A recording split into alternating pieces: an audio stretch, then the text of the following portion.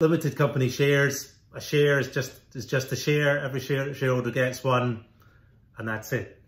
Really, isn't it? Well, yes and no. A limited company must must have shares at a minimum of one share per shareholder, and indeed the majority of companies in the UK will have one type of share or class.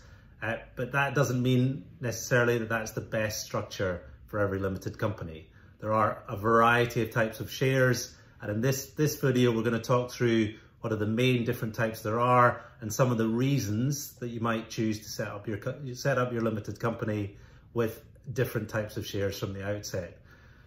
Because changing the types of shares and, and classes further on down the line can be expensive and can take some time uh, to do later on. So it's worth getting it right from the outset.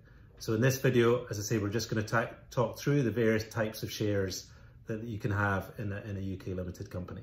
Before we get into, into what the different types of shares are in a limited company, Neil, I suppose the first question would be, why would you, why would you bother?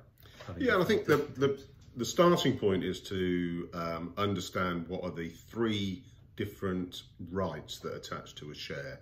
And, and that applies to um, just generally business owners as well. What, what does a business owner want um, for, from owning the, their business? Uh, and break it down, there's three things. There's a right to income, a right to capital, and a right to control, if you like, or a right to vote, as we, we put it there. And that applies you know, across the board. For some people, by owning shares or owning a part of a business, they think they'll earn more money. It's about having income. It's about having a share of the profits. For some people, it will be to have something that we're going to build this business and we're going to sell it in the future, and I want to share in that capital growth. And for other people, it will be about having some control over their own life or having a say in the running of the business and, and wanting um, some right to, to vote or, or an element of control. And those are effectively are the three rights that go with the shares. Um, and an ordinary share in a company um, has equal of those rights with every other ordinary share. So if, yeah. if four people set up in business together and they own 25% each, they're going to get 25% of the dividends. They're going to get 25% of the um, of the value of the business when it's exited, and they have 25% of the votes so three of them can outvote the other one, and you have some say and influence over the direction that the company will have. So, so those are the three main areas that there are probably going to be differences between between types of shares. So going back to the why are you going to bother doing that? Because different be... shareholders will at attach a different value to each of those rights. Um, you know, someone who's uh, who's investing in the business and owns a small percentage, the actual right to vote may not be important. They're investing in the management team, they're trusting the management team to make the right decisions and good decisions, and they just want a big exit in five years' time. They, they might not be that interested in the income. We don't want income, reinvest it in the business and grow. Whereas, you know, a young founder might be thinking, well, I've set this business up because I want to have control over my life and I want control. So, so having uh, a greater attachment to the, the right of voting and the control element. You may have an employee who you really want yeah. to encourage to stay with you and whatever, and they might be all about the what, how much more money am I going to get in the next year or two? Income is important, or no, I want a big stake in the, or a bigger stake in the exit because I'm helping build it for the sale and I'm earning my income and I'm more worried about the capital amount. So, so in terms of why you might, why it's important is it's you're trying to understand the motivation or Behind, the importance yeah. for, of each of those areas for the different people as, as what it's going to, you know, float their boat around actually owning some shares in in the business. Why why yeah. why have they got it? Which is most important to them? And it's, it's back to that. We, we have another video in terms of how many shares a startup should probably have in a limited company.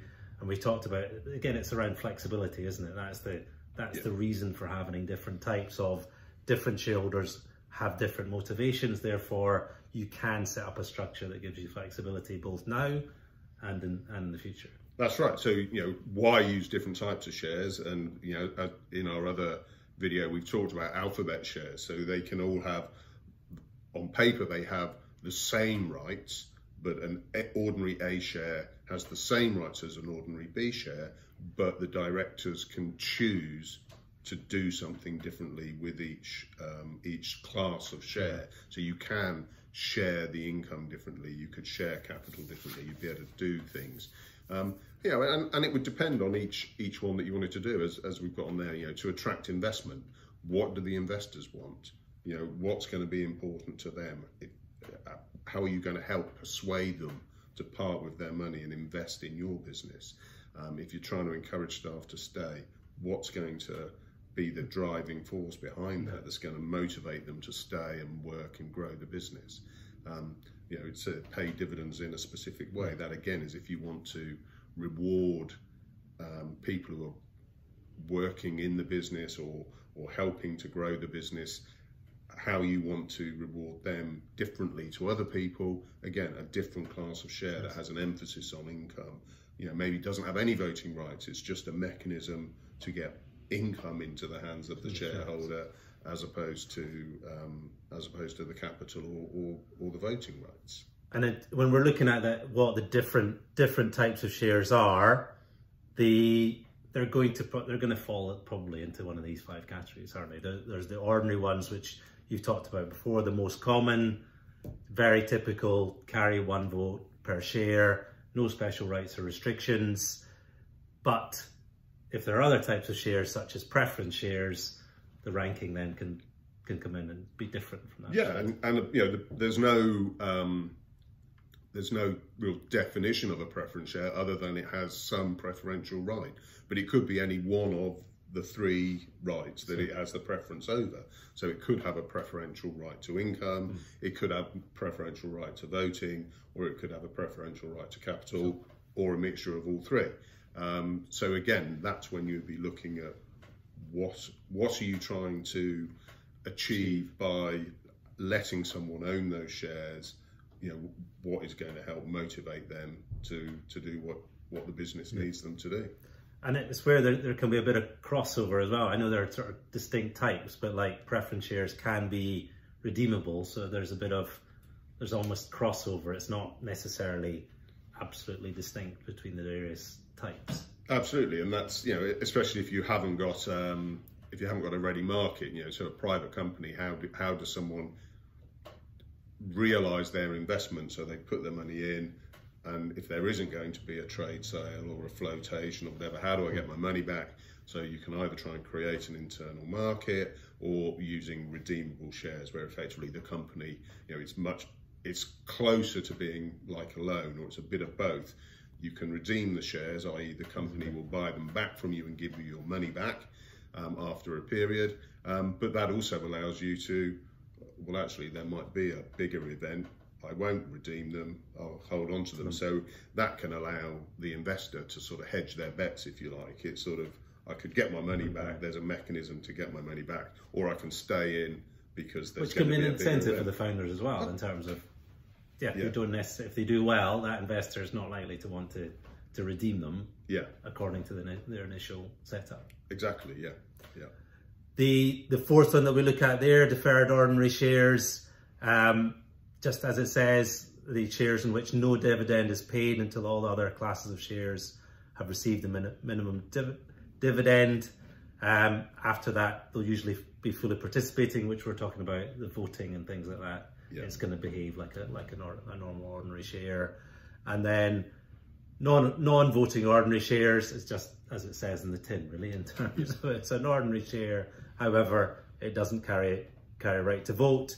And in terms of when these are used, the most common example is is crowdfunding. I think yeah. probably for just in terms of the volume of shareholders you potentially have from an admin perspective if they're non-voting, it makes it very much easier than if they. Yeah, because if you yeah if you need to get something changed in the company and it needs a resolution, if you've got to get just the paperwork of getting everybody to be yeah. aware of what you're trying to do, may if they respond, people don't respond. So very much with crowdfunding because of the number of people. It can be hundreds, if not thousands, of yeah. people who are yeah. yeah who are involved.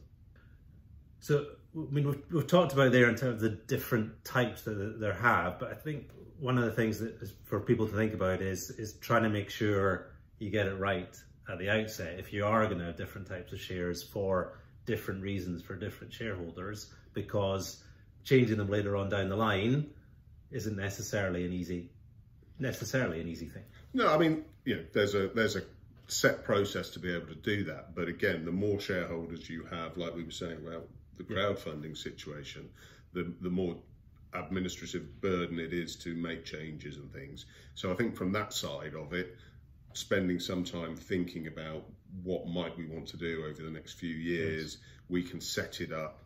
Because um, even if you don't issue the shares, the fact that the company has the ability to issue an A, B, or C share or a preference share or whatever, it, the, the, it exists within the Articles of Association that the company is allowed to do that. So even if it hasn't used that um, right to, to begin with.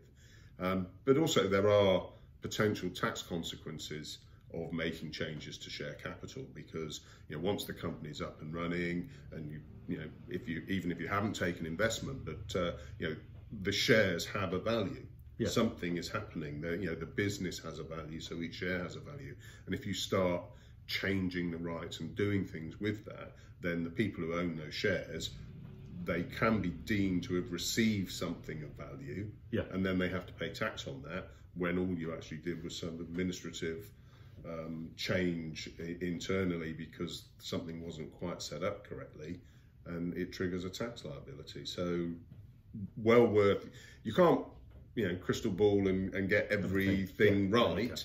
Um, and you may still miss something and I've never thought we'd do that. And so it isn't set up in that way, but um, it's worth just thinking about or talking with other business people. Yeah. You know, experiences that other people have seen of oh I wish we'd done that from the beginning because it would have made it easier yeah. later on. Because it's uh, just the automatic so oh we'll just have like a friend of mine set up their company 100 shares for a pound we'll just do the same your situation might be might be very different to yeah. theirs and you might end up potentially with the same answer but it's an important process to go through just to make sure that you've thought of the different things through before you just go ahead and copy and paste almost from someone else. Definitely, yes. Yeah. Yeah. Because you, I mean, you, you can change, you can convert, but getting it right from the outset is a far easier and less less costly. It's going to be yeah, less costly. To, definitely, yes. To do right. So I hope that's been helpful in terms of answering what different types of shares there are. Please uh, don't forget to subscribe. We've got lots of other videos uh, to give you hints and tips and how to get the business, basics of business right uh, from day one. And uh, we'll see you next time, hopefully.